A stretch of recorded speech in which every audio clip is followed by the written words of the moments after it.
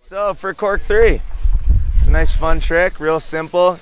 Good trick to have in the old bag of tricks there. What I like to think about on a cork three is I like to carve it. So I like to come left hand side of the jump, carve to the right, take off on my two left edges, real wide stance, and I try and jump forward and bring my feet up to my body. And that's pretty much it. Set it, pop it, grab it, hopefully land it. That's cork three. Matt Margetts.